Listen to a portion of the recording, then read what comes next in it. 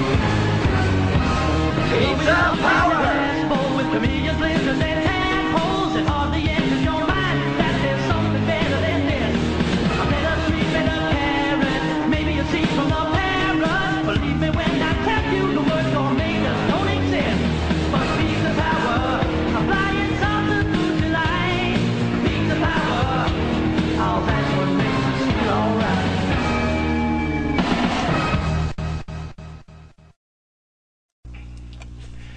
Hello, everybody.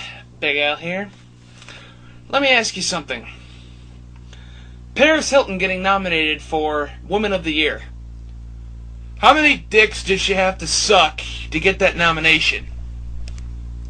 This is an insult to women everywhere. How come the feminazis aren't oh I'm sorry, feminists aren't getting aren't getting fucking outraged by this?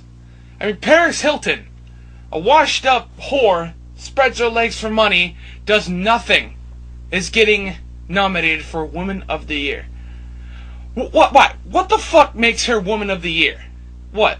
Did she sell more pornos than every woman on Earth? Seriously. She's an SD. She's an STD uh, infested whore. Why is she getting? Why is she getting an award? I mean, you can't do. You don't even need to do anything to get an award nowadays. Look at Al Gore. Al Gore gets a Nobel Peace Prize for telling shit that we already know. Uh, uh, uh, carpool, you'll save gas. This man is brilliant! Uh, don't litter. By God, he's done it again! Uh, don't pour poison down lakes.